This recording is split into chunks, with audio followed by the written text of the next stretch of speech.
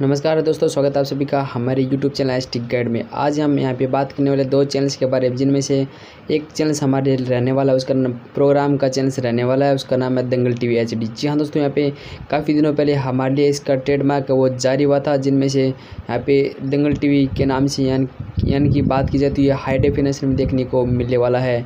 अभी हमें देखने को मिल रहा है वो स्टैंडर्ड डेफिनेशन में, जिस, इस प्रकार से जो सीरियल हमें अभी देखने को मिल रहा है, वही सीरियल उस पर देखने को मिलेंगे। बस क्वालिटी है उसकी वो हाई रहने वाली है। यहाँ पे देख सकते हैं, बहुत सारे प्रोग्राम है, वो दंगल स्टार्ट करके उसके बाद दंगल ने यहाँ पे दो से तीन चैनल को भी शुरू कर दिया, जैसे इंटरटेन इंटरटेन मूवीज़ और यहाँ पे दंगल कन्नड़ और इंटरटेन रंगीला। इन सभी चैनलों को इंटरटेन यानी कि दंगल एच उसके बाद से इसका ट्रेडमार्क जारी किया था, इसको एम की तरफ़ से लाइसेंस मिल गई। पर दोस्तों, दंगल एच को इतने दिनों से यानी कि करीबन सात से आठ महीने हो चुके थे, इसको लाइसेंस नहीं मिला था। पर दोस्तों, अब फाइनली इसको लाइसेंस मिल चुका है और ये जल्दी ही हमारे लिए यहाँ पे एम पी फोर स्लॉट के लिए शुरू करने वाला है। इसकी टेस्टिंग वो जल्दी ही शुरू कर दी जाएगी। तो वही दूसरे चैनल की बात की जाए बॉलीवुड टीवी जी हाँ दोस्तों, ये चैनल हमें देखने को मिल रहा है। अभी दोस्तों, फ़िलहाल इसकी बात की जाए तो इसकी पिक्चर क्वालिटी बहुत ही अच्छी देखने को मिल रही है और ये चैनल हमें ये डी डी फ्रिज के माध्यम से देख सकते हैं। ये छः फीट के एंटीने पर हम यहाँ पे इसको ट्रैक कर सकते हैं।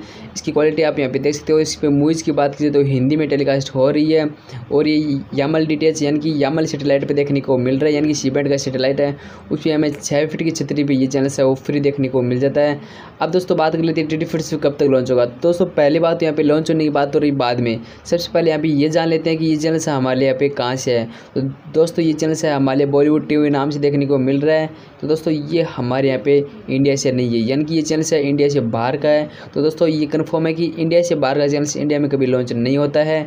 जो इंडिया से बाहर का वो टेम्परेली फ्री देखने को मिल सकता है। अभी दोस्तों, ये टेम्परेली फ्री देखने को मिल रहा है, जो कि आपको यामल सेट यहाँ पे सी बैंड का सेटेलाइट है छः फीट के एंटीने पर ये देखने को मिलेगा। और M P G four slot होना आपको पास बहुत ही ज़रूरी है। तभी इस चैनल को आप देख सकते हैं।